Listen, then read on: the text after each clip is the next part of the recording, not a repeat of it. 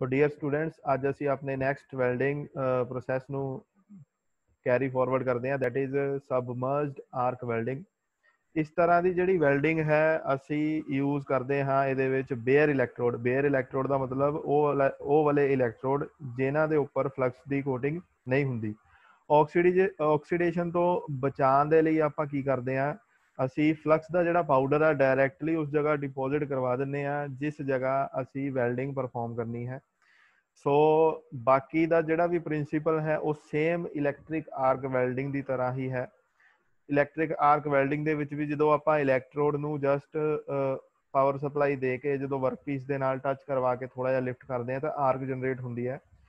ਉਸ generated heat ਦੇ ਨਾਲ ਇੱਕ ਪਲਾਜ਼ਮਾ ਰੀਜਨ ਹੈ ਜਿਹੜਾ ਉਹ ਕ੍ਰੀਏਟ ਹੁੰਦਾ ਹੈ, ਜਿਹਦੇ ਵਿੱਚੋਂ ਇਲੈਕਟ੍ਰੋਡ ਹੌਲੀ ਹੌਲੀ ਮੈਲਟ ਕਰਕੇ ਉਸ ਜਗ੍ਹਾ ਡਿਪੋਜ਼ਿਟ ਹੁੰਦਾ ਹੈ, ਜਿੱਥੇ ਆਪਾਂ ਵੈਲਡਿੰਗ ਕਰਨੀ ਹੁੰਦੀ ਹੈ। ਸੋ ਹੁਣ ਜਿੱਦਾਂ ਕਿ ਇਹਦੇ ਵੈਲਡਡ ਪੋਰਸ਼ਨ ਦੇ ਵਿੱਚ ਜਿਹੜਾ ਫਲਕਸ ਪਾਊਡਰ ਹੈ ਉਹ ਕਵਰਡ ਹੈ। ਸੋ ਮੈਟਲ ਜੁਆਇੰਟ ਸੋਲਿਡ ਬਣਨ ਚ ਟਾਈਮ ਲੱਗਦਾ ਹੈ, ਕਿਉਂਕਿ ਅਗਰ ਆਪਾਂ ਕਿਸੇ ਚੀਜ਼ ਨੂੰ ਕਵਰ ਕਰ ਦਿੰਦੇ ਹਾਂ ਉਹ ਡੈਫੀਨਿਟਲੀ 에ਅਰ ਦੇ ਕੰਟੈਕਟ ਦੇ ਵਿੱਚ ਨਹੀਂ ਆਏਗੀ ਇੰਨਾ ਜ਼ਿਆਦਾ। ਸੋ ਉਹਨੂੰ ਸੋਲਿਡ ਬਣਨ ਦੇ ਵਿੱਚ ਵੀ ਟਾਈਮ ਲੱਗੇਗਾ। ਸੋ ਇਦਾਂ ਦੀ ਵੈਲਡਿੰਗ ਆਪਾਂ ਕਿੱਥੇ ਯੂਜ਼ ਕਰਦੇ ਆ ਜਿੱਥੇ ਸ਼ਿਪ ਬਿਲਡਿੰਗ ਸ਼ਿਪ ਬਿਲਡਿੰਗ ਦੇ ਵਿੱਚ ਜਾਂ ਫਿਰ ਨਿਊਕਲੀਅਰ ਇੰਡਸਟਰੀ ਦੇ ਵਿੱਚ। ਬਸ ਇੱਕ ਹੀ ਇਸ ਤਰ੍ਹਾਂ ਦੀ ਵੈਲਡਿੰਗ ਦਾ ਡਰਾਬੈਕ ਹੈ ਕਿ ਸਿਰਫ ਔਰ ਸਿਰਫ ਆਪਾਂ ਇਹਨੂੰ ਫਲੈਟ ਪੋਜੀਸ਼ਨ ਦੇ ਵਿੱਚ ਹੀ ਵੈਲਡਿੰਗ ਕਰ ਸਕਦੇ ਆ ਰੀਜ਼ਨ ਕੀ ਹੈ? ਬਿਕੋਜ਼ ਅਸੀਂ ਜਿਹੜਾ ਪਾਊਡਰਡ ਫਾਰਮ ਹੈ ਫਲਕਸ ਦਾ, ਉਹ ਆਪਾਂ ਡਿਪੋਜ਼ਿਟ ਕਰਵਾਉਣਾ ਹੈ। ਅਗਰ ਆਪਾਂ ਕਿਸੇ ਇਨਕਲਾਈਨਡ ਪੋਜੀਸ਼ਨ 'ਚ ਜਾਂ ਵਰਟੀਕਲ ਪੋਜੀਸ਼ਨ 'ਚ ਵੈਲਡਿੰਗ ਕਰਨ ਦੀ ਕੋਸ਼ਿਸ਼ ਕਰਾਂਗੇ, ਉਹ ਜਿਹੜਾ ਪਾਊਡਰ ਹੈ ਉਹ ਸਾਰਾ ਸਾਰਾ ਦਾ ਸਾਰਾ ਨੀਚੇ ਗਿਰ ਜਾਏਗਾ। ਸੋ ਉਸ ਟਾਈਮ ਤੇ ਐਦਾਂ ਦੀ ਵੈਲਡਿੰਗ ਜਿਹੜੀ ਪਰਫਾਰਮ ਕਰਨਾ ਮੁਸ਼ਕਿਲ ਹੈ। ਸੋ ਸਿਰਫ ਔਰ ਸਿਰਫ ਫਲੈਟ ਪੋਜੀਸ਼ਨ ਦੇ ਵਿੱਚ ਹੀ ਆਪਾਂ ਸਬਮਰਜਡ ਆਰਕ ਵੈਲਡਿੰਗ ਨੂੰ ਪਰਫਾਰਮ ਕਰਦੇ ਹਾਂ। Next is advantages of submerged arc welding ਸਭ ਤੋਂ ਪਹਿਲੀ ਐਡਵਾਂਟੇਜ ਹੈ very high welding rate welding rate ਹੈ ਜਿਹੜਾ ਉਹ ਕਾਫੀ ਹਾਈ ਹੁੰਦਾ ਹੈ। The process is suitable for automation automation industry ਦੇ ਵਿੱਚ ਇਹ ਪ੍ਰੋਸੈਸ ਕਾਫੀ ਯੂਜ਼ ਹੁੰਦਾ ਹੈ। ਹਾਈ ਕੁਆਲਿਟੀ ਵੈਲਡ ਸਟਰਕਚਰ ਜਿਹੜਾ ਵੈਲਡ ਸਟਰਕਚਰ ਹੈ ਉਹ ਕਾਫੀ ਹਾਈ ਕੁਆਲਿਟੀ ਦਾ ਹੁੰਦਾ ਹੈ। ਡਿਸਐਡਵਾਂਟੇਜ ਕੀ ਹੈ? Weld may contain slag inclusions ਇਹਦਾ ਮਤਲਬ ਕੀ ਹੈ ਜਦੋਂ ਆਪਾਂ ਵੈਲਡਿੰਗ ਪਰਫਾਰਮ ਕਰ ਰਹੇ ਹਾਂ ਇਲੈਕਟ੍ਰੋਡ ਨੇ ਤਾਂ ਮੈਲਟ ਹੋ ਕੇ ਉਸ ਜਗ੍ਹਾ ਡਿਪੋਜ਼ਿਟ ਹੋਈ ਜਾਣਾ ਜਿੱਥੇ ਆਪਾਂ ਵੈਲਡਿੰਗ ਕਰ ਰਹੇ ਹਾਂ ਪਰ ਉਹਦੇ ਨਾਲ ਨਾਲ ਚਾਂਸਸ ਨੇ ਕਿ ਜਿਹੜਾ ਫਲਕਸ ਦਾ ਪਾਊਡਰ ਹੈ, ਉਹਦੀਆਂ ਇੰਪਿਉਰਿਟੀਜ਼ ਵੀ ਵੈਲਡਡ ਜੁਆਇੰਟ ਦੇ ਨਾਲ ਡਿਪੋਜ਼ਿਟ ਹੋ ਜਾਣ। ਤਾਂ ਉਹ ਇੱਕ ਡਰਾਬੈਕ ਹੈ, ਇਹਦਾ ਡਿਸਐਡਵਾਂਟੇਜ ਹੈ। ਲਿਮਿਟਿਡ ਐਪਲੀਕੇਸ਼ਨਸ ਨੇ ਇਸ ਪ੍ਰੋਸੈਸ ਦੀਆਂ ਮੋਸਟਲੀ ਆਪਾਂ ਹੌਰੀਜ਼ੌਂਟਲ ਜਾਂ ਫਿਰ ਫਲੈਟ ਸਰਫੇਸ ਦੇ ਵਿੱਚ ਹੀ ਇਸ ਪ੍ਰੋਸੈਸ ਨੂੰ ਯੂਜ਼ ਕਰਦੇ ਹਾਂ। ਸੋ ਹੁਣ ਅਸੀਂ ਦੇਖਦੇ ਹਾਂ ਕਿ ਜਿਹੜੀ ਸਬਮਰਜਡ ਆਰਕ ਵੈਲਡਿੰਗ ਹੈ, ਉਹ ਕਿਸ ਤਰ੍ਹਾਂ ਕੰਮ ਕਰਦੀ ਹੈ। ਤੁਹਾਡੇ ਸਾਹਮਣੇ ਇਹ ਸਬਮਰਜਡ ਆਰਕ ਵੈਲਡਿੰਗ ਦਾ ਸੈਟਅਪ ਹੈ। ਇਹਦੇ ਵਿੱਚ ਇੱਕ ਕੋਇਲਡ ਫਾਰਮ ਦੇ ਵਿੱਚ ਸਾਡੇ ਕੋਲ ਬੇਅਰ ਇਲੈਕਟ੍ਰੋਡ ਹੈ। ਇਹ ਕੋਇਲ ਹੈ ਜਿਹੜੀ ਇਹ ਜਾਂਦੀ ਹੈ ਇਸ ਇਲੈਕਟ੍ਰੋਡ ਦੀ ਗਨ ਦੀ ਤਰਫ ਔਰ ਇਹਦੇ ਨਾਲ ਹੀ ਇੱਕ ਚੈਨਲ ਜੋੜਿਆ ਹੋਇਆ ਹੈ ਔਰ ਇਸ ਚੈਨਲ ਦੇ ਵਿੱਚ ਇੱਕ ਕੰਟੇਨਰ ਹੈ, ਜਿਸ ਕੰਟੇਨਰ ਦੇ ਵਿੱਚ ਆਪਾਂ ਫਲਕਸ ਪਾਊਡਰ ਹੈ ਉਹ ਡਿਪੋਜ਼ਿਟ ਕਰਵਾ ਰਹੇ ਹਾਂ। ਸੋ ਜਦੋਂ ਆਪਰੇਟਰ ਇਸ ਟਰੈਕ ਨੂੰ ਅੱਗੇ ਅੱਗੇ ਮੂਵ ਕਰਵਾਏਗਾ ਇਲੈਕਟ੍ਰਿਕ ਆਰਕ ਜਨਰੇਟ ਹੋਏਗੀ ਪਾਵਰ ਸਪਲਾਈ ਔਨ ਕਰਨ ਦੇ ਨਾਲ ਐਂਡ ਉਸ ਜਗ੍ਹਾ ਵੈਲਡਿੰਗ ਪਰਫਾਰਮ ਹੋਏਗੀ। ਤੁਸੀਂ ਦੇਖ, ਦੇਖੋਗੇ ਕਿ ਇਹ ਜਿਹੜੀ ਵੈਲਡਿੰਗ ਹੈ ਸਿਰਫ ਔਰ ਸਿਰਫ ਹੌਰੀਜ਼ੌਂਟਲ ਜਾਂ ਫਿਰ ਫਲੈਟ ਪੋਜੀਸ਼ਨ ਦੇ ਵਿੱਚ ਕੀਤੀ ਜਾ ਰਹੀ ਹੈ। ਵਰਕਪੀਸ ਨੂੰ ਪਲੇਸ ਹੀ ਇਸ ਤਰ੍ਹਾਂ ਕੀਤਾ ਗਿਆ ਕਿ ਜਿਹੜੀ ਵੈਲਡਿੰਗ ਹੈ, ਉਹ ਫਲੈਟ ਪੋਜੀਸ਼ਨ ਦੇ ਵਿੱਚ ਹੀ ਹੋਵੇ। ਸੋ ਇਹਦੇ ਵਿੱਚ ਆਪਾਂ ਵਰਕਪੀਸ ਦੀ ਪੋਜੀਸ਼ਨ ਨੂੰ ਚੇਂਜ ਕਰਦੇ ਆ ਜਿਹੜੀ ਵੈਲਡਿੰਗ ਪੋਜੀਸ਼ਨ ਜਿਹੜਾ ਵੈਲਡਿੰਗ ਸੈਟਅਪ ਹੈ ਉਸ ਨੂੰ ਆਪਾਂ ਚੇਂਜ ਨਹੀਂ ਕਰਦੇ। ਸੋ ਦੇਖਦੇ ਆ ਇਹ ਵੀਡੀਓ 'ਚ ਸਬਮਰਜਡ ਡਾਰਕ ਵੈਲਡਿੰਗ ਕਿੱਦਾਂ ਕੰਮ ਕਰਦੀ ਹੈ।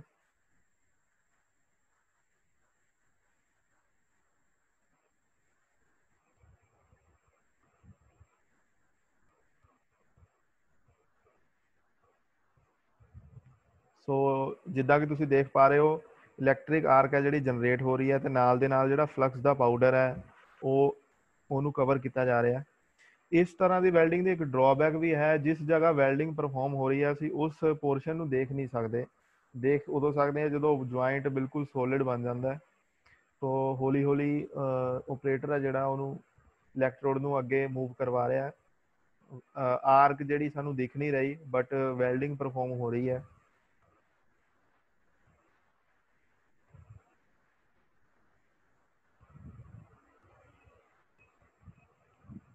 ਸੋ ਇਹ ਸੀ ਸਬਮਰਜਡ ਆਰਕ ਵੈਲਡਿੰਗ ਜਿਹਦੇ ਵਿੱਚ ਵੈਲਡਿੰਗ ਹੈ ਜਿਹੜੀ, ਉਹ ਪਰਫਾਰਮ ਹੁੰਦੀ ਹੈ using bare electrode and using powdered form flux ਜਿਹਨੂੰ ਆਪਾਂ ਕੰਪਲੀਟਲੀ ਉਸ ਜਗ੍ਹਾ ਕਵਰ ਕਰ ਦਿੰਨੇ ਆ ਜਿਸ ਜਗ੍ਹਾ ਆਪਾਂ ਜੁਆਇੰਟ ਬਣਾਉਣਾ ਹੁੰਦਾ ਹੈ। ਸੋ ਨੈਕਸਟ ਅਸੀਂ ਗੱਲ ਕਰਦੇ ਆ ਆਪਣੀ next welding type the that is electro slag welding welding setup ਬਹੁਤ ਸਿੰਪਲ ਹੈ। ਇਸ ਜਗ੍ਹਾ ਪਾਵਰ ਸਪਲਾਈ ਹੈ। ਪਾਵਰ ਸਪਲਾਈ ਦੇ ਨਾਲ ਆਪਾਂ ਇੱਕ ਇਲੈਕਟ੍ਰੋਡ ਦੀ ਬੇਅਰ ਇਲੈਕਟ੍ਰੋਡ ਦੀ ਵਾਇਰ ਫੀਡ ਪ੍ਰੋਵਾਈਡ ਕਰ ਰਹੇ ਹਾਂ। ਸੋ ਦੂਸਰਾ ਜਿਹੜਾ ਕਨੈਕਟਰ ਹੈ, ਅਸੀਂ ਵਰਕਪੀਸ ਦੇ ਨਾਲ ਜੋੜਿਆ ਹੋਇਆ ਹੈ। ਇਸ ਵੈਲਡਿੰਗ ਦੇ ਵਿੱਚ ਜਿਹੜੀ ਹੀਟ ਜਨਰੇਟ ਹੁੰਦੀ ਹੈ, ਉਹ ਹੁੰਦੀ ਹੈ with the electric current electric current ਜਿਹੜਾ ਪਾਸ ਕਰਦਾ ਹੈ between electrode and workpiece welding perform ਕਰਨ ਤੋਂ ਪਹਿਲਾਂ ਜਿਹੜਾ ਗੈਪ ਹੈ, ਹੁਣ ਆ ਜਿਹੜਾ ਗੈਪ ਹੈ, ਜਿਸ ਜਗ੍ਹਾ ਆਪਾਂ ਦੋ ਵਰਕਪੀਸ ਨੂੰ ਜੋੜਨਾ ਹੈ ਉਸ ਨੂੰ ਆਪਾਂ ਕੀ ਕਰਦੇ ਆ ਫਲਕਸ ਦੇ ਨਾਲ ਫਿਲ ਕਰ ਦਿੰਨੇ ਆ ਸੇਮ ਜਿੱਦਾਂ ਪਾਊਡਰਡ ਫਲਕਸ ਆਪਾਂ ਸਬਮਰਜਡ ਆਰਕ ਵੈਲਡਿੰਗ ਦੇ ਵਿੱਚ ਯੂਜ਼ ਕੀਤਾ ਸੀ। ਸੋ ਉਸੇ ਤਰ੍ਹਾਂ ਅਸੀਂ ਇਸ ਗੈਪ ਨੂੰ ਕੰਪਲੀਟਲੀ ਫਲਕਸ ਦੇ ਨਾਲ ਫਿਲ ਕਰ ਦਿੰਦੇ ਹਾਂ।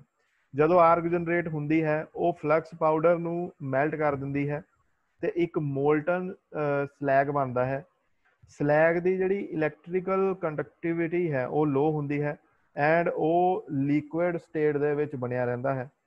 ਜਦੋਂ ਟੈਂਪਰੇਚਰ ਹੈ ਸਲੈਗ ਦਾ, ਉਹ ਨੀਅਰ ਅਬਾਊਟ 1930 1930 ਡਿਗਰੀ ਸੈਲਸੀਅਸ ਤੱਕ ਆ ਜਾਂਦਾ ਹੈ, ਤਾਂ ਇਲੈਕਟ੍ਰੋਡ ਜਿਹੜਾ ਆ, ਉਹ ਮੈਲਟ ਕਰਨਾ ਸਟਾਰਟ ਹੋ ਜਾਂਦਾ ਹੈ। ਐਂਡ ਵਰਕਪੀਸ ਦੇ ਐਜਸ ਵੀ ਨੇ ਜਿਹੜੇ ਉਹ ਮੈਲਟ ਹੋਣਾ ਸਟਾਰਟ ਕਰ ਜਾਂਦੇ ਨੇ। ਸੋ ਜਿਹੜਾ ਮੋਲਟਨ ਮੈਟਲ ਹੈ ਇਲੈਕਟ੍ਰੋਡ ਤੋਂ ਡ੍ਰੌਪ ਹੋ ਕੇ ਇਸ ਪੂਲ ਦੇ ਥਰੂ ਡਿਪੋਜ਼ਿਟ ਹੁੰਦਾ ਹੈ, ਉਸ ਜਗ੍ਹਾ ਜਿਸ ਜਗ੍ਹਾ ਆਪਾਂ ਵੈਲਡਿੰਗ ਨੂੰ ਪਰਫਾਰਮ ਕਰਨਾ ਹੈ। ਸੋ ਇਸ ਲਈ ਇਸ ਵੈਲਡਿੰਗ ਦਾ ਨਾਮ ਵੀ ਇਲੈਕਟ੍ਰੋ ਸਲੈਗ ਵੈਲਡਿੰਗ ਹੈ। ਸਲੈਗ ਮੀਨਸ ਜਿਹੜਾ ਪੂਲ ਹੈ ਪੂਲ ਦੇ ਇਨ ਬਿਟਵੀਨ ਮੈਟਲ ਡਿਪੋਜ਼ਿਟ ਹੁੰਦਾ ਰਹਿੰਦਾ ਹੈ ਐਂਡ ਜਿਹੜੀ ਵੈਲਡਿੰਗ ਹੈ, ਉਹ ਪਰਫਾਰਮ ਹੁੰਦੀ ਹੈ। ਸੋ ਨੈਕਸਟ ਅਸੀਂ ਗੱਲ ਕਰਦੇ ਹਾਂ ਜੀ advantages and disadvantages the.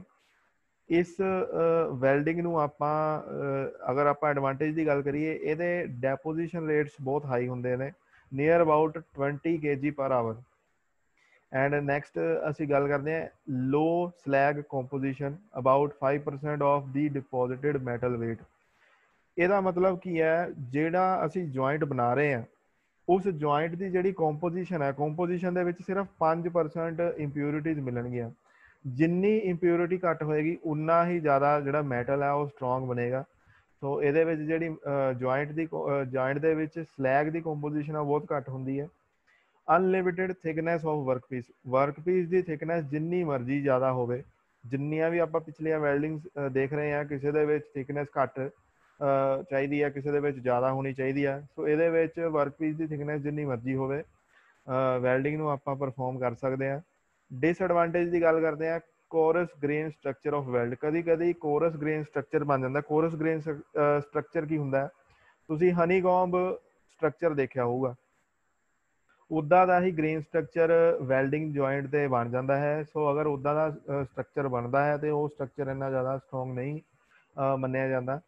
Low ਟਫਨੈਸ of weld ਜਿਹੜੀ ਵੈਲਡਡ ਪੋਰਸ਼ਨ ਹੈ, ਉਹਦੀ ਟਫਨੈਸ ਹੈ ਜਿਹੜੀ ਬਹੁਤ ਘੱਟ ਹੁੰਦੀ ਹੈ। ਟਫਨੈਸ ਦਾ ਮਤਲਬ ਆਪਾਂ ਕਿਸੇ ਮੈਟਲ ਨੂੰ ਟਫਨੈਸ ਦਾ ਮਤਲਬ ਹੈ ਮੈਟਲ ਦੀ ਐਬਿਲਿਟੀ ਕਿ ਉਹ ਕਿਸੇ ਸਡਨ ਜਰਕ ਨੂੰ ਸਡਨ ਫੋਰਸ ਨੂੰ ਕਿੱਦਾਂ ਰੈਜ਼ਿਸਟ ਕਰਦਾ ਹੈ, ਉਹਨੂੰ ਆਪਾਂ ਕਹਿੰਦੇ ਆ toughness next is only vertical position is possible ਇਹਦੇ ਵਿੱਚ ਜਿਹੜੀ ਆ ਵਰਟੀਕਲ ਪੋਜੀਸ਼ਨ ਹੀ ਪੋਸੀਬਲ ਆ ਕਿਉਂਕਿ ਜਿਹੜਾ ਲਿਕੁਇਡ ਮੈਟਲ ਹੈ ਅਗਰ ਆਪਾਂ ਦੇਖ ਰਹੇ ਹਾਂ ਤੇ ਵਰਟੀਕਲ ਪੋਜੀਸ਼ਨ 'ਚ ਅਗਰ ਕੰਟੇਨਰ ਟਾਈਪ ਦੇ ਵਿੱਚ ਆਪਾਂ ਵੈਲਡਿੰਗ ਕਰਾਂਗੇ, ਤਾਂ ਡਿਪੋਜ਼ਿਟ ਹੋਏਗਾ। ਅਗਰ ਤੁਸੀਂ ਹੋਰੀਜ਼ੋਨਟਲ ਕਰੋਗੇ ਤਾਂ ਮੈਟਲ ਇੱਥੇ ਟਿਕਣਾ ਨਹੀਂ ਹੈ।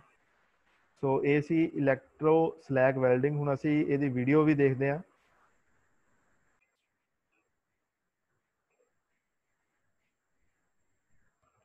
ਸੋ ਇਹ ਵੀਡੀਓ ਦੇ ਵਿੱਚ ਅਸੀਂ ਦੇਖਾਂਗੇ ਕਿ ਇੱਕ ਛੋਟੀ ਜੀ ਡੈਮੋਨਸਟ੍ਰੇਸ਼ਨ ਹੈ। ਇਹਦੇ ਵਿੱਚ ਕੀ ਕੀਤਾ ਹੈ? ਸਾਡੇ ਕੋਲ ਦੋ ਵਰਕਪੀਸ ਨੇ। ਇੱਕ ਤੁਸੀਂ ਰਾਈਟ ਸਾਈਡ ਤੇ ਦੇਖ ਪਾ ਰਹੇ ਹੋ, ਇੱਕ ਤੁਸੀਂ ਆਪਣੇ ਲੈਫਟ ਸਾਈਡ ਤੇ ਦੇਖ ਪਾ ਰਹੇ ਹੋ।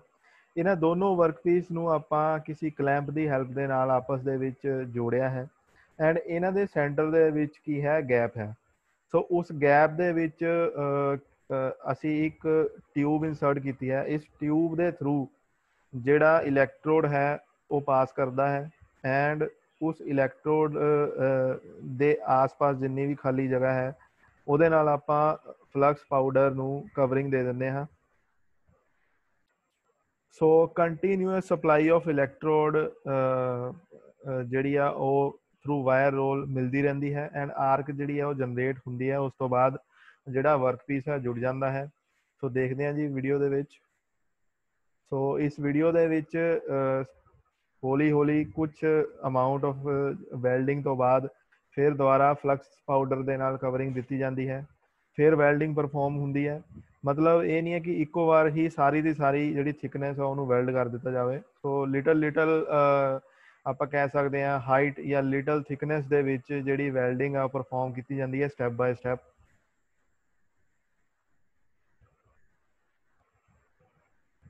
ਸੋ ਮੰਨ ਲਓ ਅਗਰ ਅਸੀਂ 100 mm ਹਾਈਟ ਦੇ ਵਿੱਚ ਵੈਲਡਿੰਗ ਪੋਰਸ਼ਨ ਕਵਰ ਕਰਨਾ ਹੈ ਤੇ ਆਪਾਂ ਸਟੈਪ ਬਾਈ ਸਟੈਪ ਮਤਲਬ ਪਹਿਲਾਂ ਆਪਾਂ 10 mm ਵੈਲਡਿੰਗ ਕਰਾਂਗੇ, ਉਸ ਤੋਂ ਬਾਅਦ ਫਿਰ 20 mm ਹਾਈਟ ਤੱਕ ਵੈਲਡਿੰਗ ਕਰਦੇ ਆ। ਸੋ ਇਸੇ ਤਰ੍ਹਾਂ ਇਹ ਜਿਹੜੀ ਵੈਲਡਿੰਗ ਆ ਉਹ ਪਰਫਾਰਮ ਕੀਤੀ ਜਾਂਦੀ ਹੈ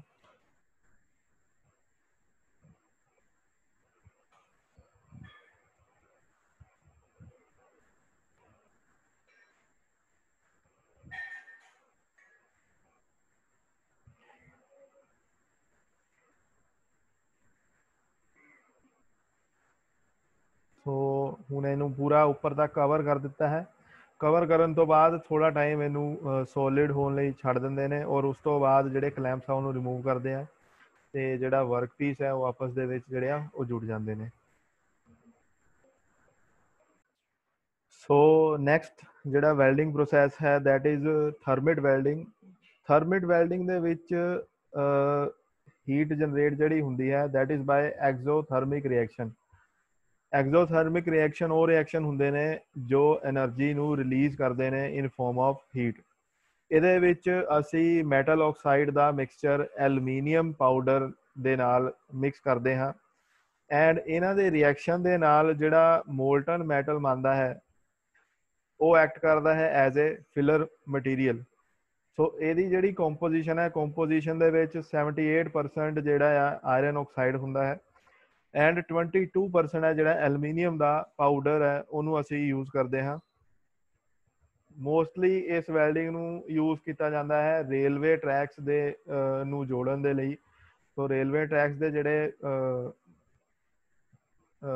ਪੈਟਰਨ ਨੇ ਸਾਈਡ ਵਾਲੇ ਲੈਫਟ ਐਂਡ ਰਾਈਟ ਵਾਲੇ, ਜਿਨ੍ਹਾਂ ਦੇ ਉੱਪਰ ਟ੍ਰੇਨ ਦੇ ਵੀਲਸ ਮੂਵ ਕਰਦੇ ਨੇ। ਸੋ ਉਹ ਜਿਹੜੇ ਪੈਟਰਨ ਨੇ ਉਹਨਾਂ ਨੂੰ ਜੋੜਨ ਦੇ ਵਿੱਚ ਥਰਮਿਟ ਵੈਲਡਿੰਗ ਯੂਜ਼ ਕੀਤੀ ਜਾਂਦੀ ਹੈ। ਇਹਦੇ ਵਿੱਚ ਇੱਕ ਸਿੰਪਲ ਜਿਹਾ ਪ੍ਰੋਸੀਜਰ ਹੈ।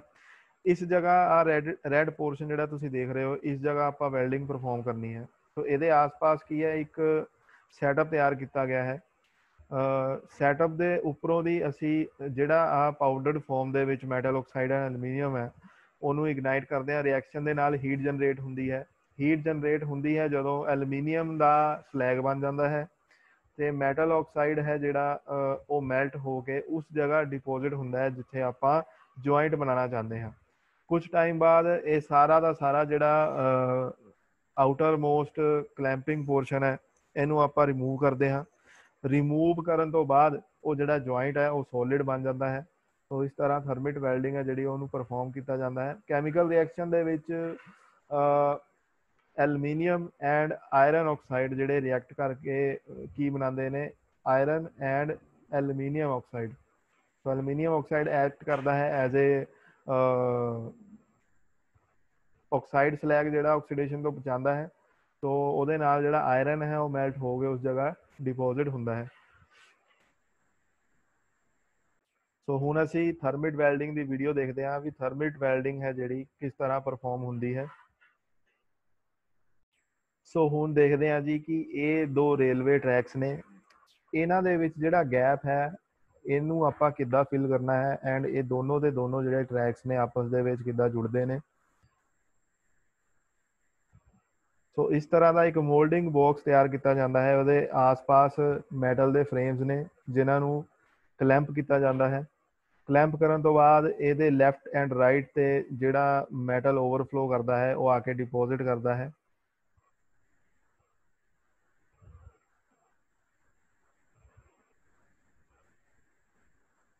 ਸੋ ਆਪਾਂ ਇਹਦੇ ਵਿੱਚ ਯੂਜ਼ ਕਰਦੇ ਹਾਂ ਐਲੂਮੀਨੀਅਮ ਦਾ ਪਾਊਡਰ ਇਹ ਜਿਹੜਾ ਸਟੀਲ ਹੈ, ਬਣਦਾ ਹੈ ਵਿਦ ਰਿਐਕਸ਼ਨ ਇਸ ਜਗ੍ਹਾ ਆਇਰਨ ਆਕਸਾਈਡ ਦਾ ਪਾਊਡਰ ਹੈ। ਔਰ ਦੋਨਾਂ ਨੂੰ ਜਦੋਂ ਮਿਕਸ ਕੀਤਾ ਜਾਂਦਾ ਹੈ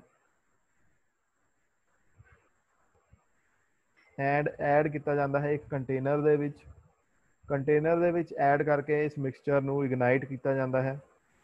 ਇਗਨਾਈਟ ਕਰਨ ਤੋਂ ਬਾਅਦ ਜੋ ਐਗਜ਼ੋਥਰਮਿਕ ਰਿਐਕਸ਼ਨ ਬਣਦਾ ਹੈ, ਉਹਦੇ ਨਾਲ ਜਿਹੜਾ ਆਇਰਨ ਹੈ ਆਕਸਾਈਡ ਦੇ ਨਾਲ ਅਲੱਗ ਹੋ ਜਾਂਦਾ ਹੈ।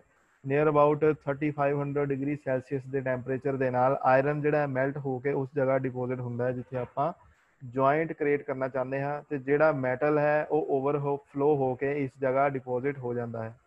ਇੱਥੇ ਮੈਂ ਇੱਕ ਗੱਲ ਕਲੀਅਰ ਕਰਨਾ ਚਾਹੁੰਦਾ ਹਾਂ, ਇਹ ਨਾ ਜਿਹੜੇ ਸਾਈਡ ਦੇ ਵਿੱਚ ਬਾਕਸਸ ਲੱਗੇ ਆ, ਇਹਨਾਂ ਦੀ ਸਾਨੂੰ ਜ਼ਰੂਰਤ ਕੀ ਪਈ? ਇਹ ਬਾਕਸਸ ਇਨਸ਼ੋਰ ਕਰਦੇ ਆ ਕਿ ਮੈਟਲ ਜਿਹੜਾ ਆਪਾਂ ਡਿਪੋਜ਼ਿਟ ਕਰਨਾ ਚਾਹੁੰਦੇ ਆ ਜਿਸ ਜਗ੍ਹਾ, ਉਹ ਪੂਰੀ ਤਰ੍ਹਾਂ ਉੱਥੇ ਫਿਲ ਹੋ ਚੁੱਕਾ ਹੈ। ਸੋ ਇਹ ਜਿਹੜੇ ਬਾਕਸਸ ਨੇ, ਇਸ ਚੀਜ਼ ਲਈ ਲਗਾਏ ਗਏ ਆ ਤਾਂ ਕਿ ਇਨਸ਼ੋਰ ਕੀਤਾ ਜਾ ਸਕੇ ਵੀ ਮੈਟਲ ਜਿਹੜਾ ਆ ਕੰਪਲੀਟਲੀ ਉਸ ਜਗ੍ਹਾ ਡਿਪੋਜ਼ਿਟ ਹੋ ਗਿਆ ਹੈ, ਜਿੱਥੇ ਆਪਾਂ ਵੈਲਡਿੰਗ ਨੂੰ ਪਰਫਾਰਮ ਕਰਨਾ ਹੈ। ਸੋ ਥੋੜੀ ਦੇਰ ਬਾਅਦ ਜਿਹੜਾ ਜੁਆਇੰਟ ਆ ਉਹ ਠੰਡਾ ਹੋ ਜਾਂਦਾ ਹੈ ਸੋ ਕਲੈਂਪਸ ਨੂੰ ਆਪਾਂ ਰਿਮੂਵ ਕਰ ਦਵਾਂਗੇ, ਉਸ ਤੋਂ ਬਾਅਦ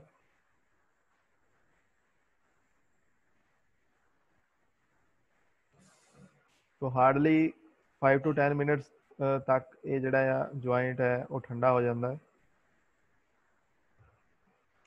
ਠੰਡਾ ਹੋਣ ਤੋਂ ਬਾਅਦ ਸਾਰੇ ਦੇ ਸਾਰੇ ਸਾਈਡ ਵਾਲੇ ਪੈਟਰਨ ਨੂੰ ਆਪਾਂ ਰਿਮੂਵ ਕਰਦੇ ਹਾਂ। ਰਿਮੂਵ ਕਰਨ ਤੋਂ ਬਾਅਦ ਜਿਹੜਾ ਐਕਸਟਰਾ ਮਟੀਰੀਅਲ ਬਚਦਾ ਹੈ, ਇਹਨੂੰ ਗ੍ਰਾਈਂਡਰ ਦੀ ਹੈਲਪ ਦੇ ਨਾਲ ਗ੍ਰਾਈਂਡ ਕਰਕੇ ਇਹ ਪੂਰੇ ਦੇ ਪੂਰੇ ਟਰੈਕ ਨੂੰ ਸਮੂਥਲੀ ਫਿਨਿਸ਼ ਕਰ ਦਿੱਤਾ ਜਾਂਦਾ ਹੈ। ਸੋ ਗ੍ਰਾਈਂਡਰ ਦੀ ਹੈਲਪ ਦੇ ਨਾਲ ਜਿਹੜਾ ਜੁਆਇੰਟ ਹੈ, ਉਹ ਬਿਲਕੁਲ ਸਮੂਥ ਕਰ ਦਿੱਤਾ ਗਿਆ ਹੈ। ਸੋ ਇਹ ਸੀ ਥਰਮਿਟ ਵੈਲਡਿੰਗ, ਜਿਹਦੀ ਹੈਲਪ ਦੇ ਨਾਲ ਅਸੀਂ ਰੇਲਵੇ ਟਰੈਕਸ ਨੂੰ ਜੋੜਦੇ ਹਾਂ।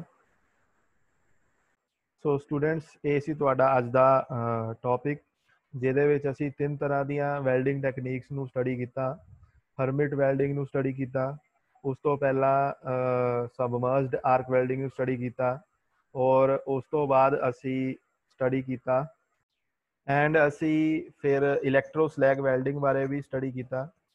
ਸੋ ਆਪਣੇ ਨੈਕਸਟ ਟੌਪਿਕ ਦੇ ਵਿੱਚ ਅਸੀਂ ਸਟੱਡੀ ਕਰਾਂਗੇ about ultrasonic welding and electro beam welding and remaining ਜਿਹੜੀਆਂ ਸਾਡੀਆਂ ਵੈਲਡਿੰਗ ਟਾਈਪਸ ਨੇ। So thank you